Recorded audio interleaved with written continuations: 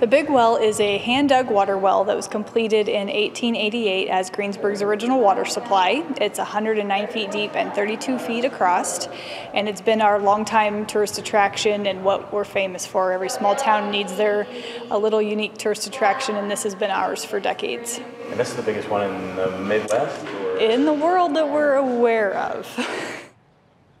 The 547 Art Center is a LEED Platinum building, and it was designed and built by University of Kansas architecture students.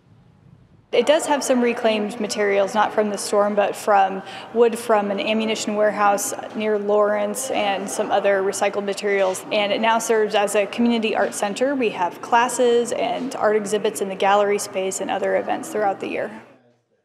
I grew up in Greensburg and graduated from high school here in 2000. I went to K State and then got a job in Lawrence, Kansas, and was living there at the time of the tornado. I decided to move back just to be a part of everything that's happening here and be a part of this rebuilding process.